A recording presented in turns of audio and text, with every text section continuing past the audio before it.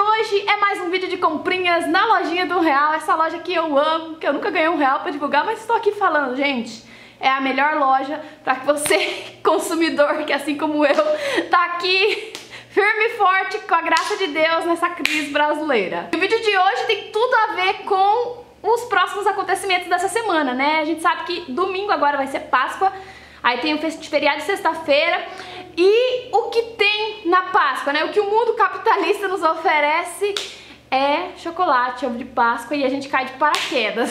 Então, sem mais delongas, vou mostrar pra vocês as coisas que eu comprei. E, gente, quero que saia essa semana vídeos de ovos de Páscoa, então fica ligadinho aqui no canal que se tudo der certo, teremos muitos vídeos essa semana. Vou deixar aqui na descrição a playlist de todos os vídeos da lojinha do Real pra você acompanhar aí essa minha saga, né? Eu acho que se fosse somar tudo que eu já gastei na lojinha do Real, não soma. Melhor não somar.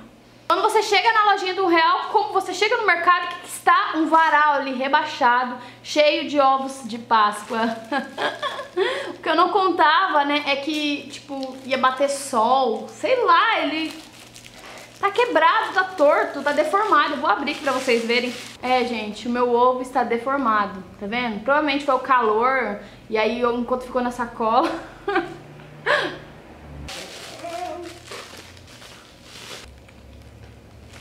Próximo. Comprei esses dois ovinhos aqui, um é da marca Roma, outro da marca Dublin, né? Parece que é a capital da Irlanda.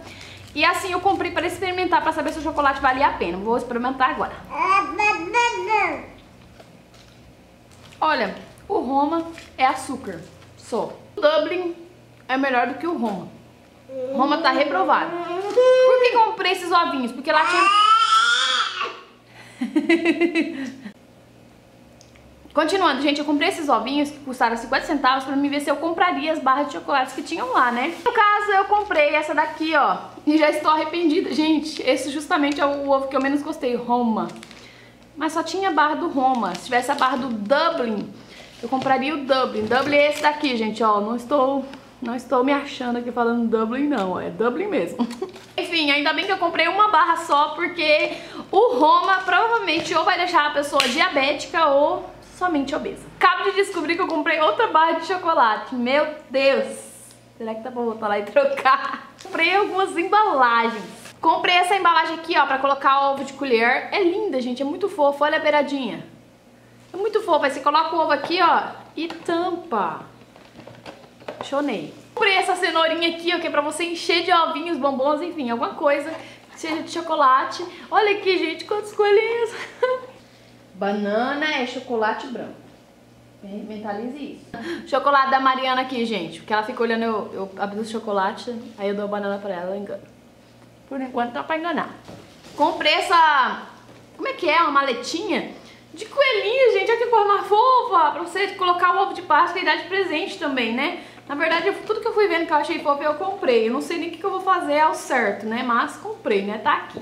E essa agora foi a minha compra favorita. Gente, eu me apaixonei por esse coelho. Esse coelho não é muito simpático? A gente não olha pra esse coelho, não dá vontade de dar risada? Ai, gente, ele é muito simpático. É o coelho mais simpático que eu já vi.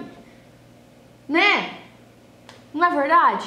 E essa caixa eu tô pensando seriamente em não dar pra ninguém, né? Tipo, pegar pra mim. E aí eu decidi ficar rica, né? Por conta própria. Uh!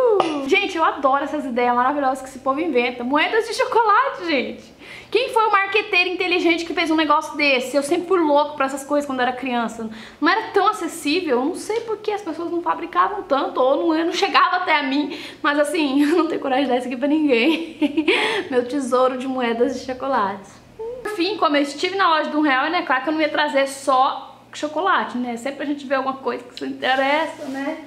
Como, por exemplo, esse vaso maravilhoso pro meu cacto, porque eu não sei se vocês sabem, se não sabem, eu mostrei lá no meu vídeo, aniversário de 25 anos, o marido levando uma exposição de flores e lá eu escolhi a minha flor. Esse cacto maravilhoso que vocês estão vendo aqui, ó, ele vai vir pra cá. Vai ficar lindo. Gente, não vai ficar coisa mais fofa. Comprei outra jarra daquela maravilhosa, que essa jarra está em uso. E a tampa não sentar. Tem um pouco de suco aqui ainda, mas eu precisava mostrar porque eu tinha comprado aquela verde água que eu mostrei no último vídeo de comprinhas, né? E eu falei, que preciso voltar lá e comprar mais. Gente, ainda bem que eu voltei. Quando eu cheguei lá, essa daqui era uma das poucas que tinha. Acabou e eu nunca mais vi.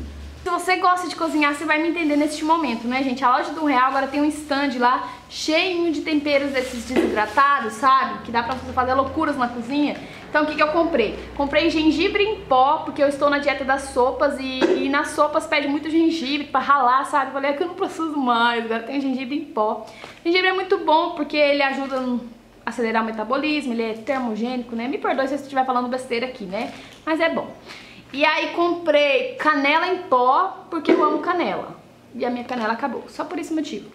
E eu comprei bicarbonato de sódio, porque esse aqui a gente usa pra tudo, né? Usa pra limpar uma roupa, usa pra... Só? Não, tem mais coisa que eu não tô conseguindo lembrar neste momento. Mas você pode deixar aqui nos comentários. É isso, gente. Eu espero muito que vocês tenham gostado de mais um vídeo de comprinhas da lojinha do Real. Se gostou, não esquece de clicar em gostei, se inscrever aqui no canal se você ainda não for inscrito, pra ficar ligado nos próximos vídeos de Páscoa. Deus abençoe que eu consiga postar a tempo. Minha casa tá uma bagunça, parei aqui rapidinho pra gravar, mas já estou desmontando tudo isso aqui pra poder limpar essa casa, né? Olha o like, não sai daqui sem clicar em gostei, tá? Pra você que menospreza o trabalho do seu irmão vindo aqui, dá um dislike, Deus tome conta da sua vida. Beijão, tchau, tchau.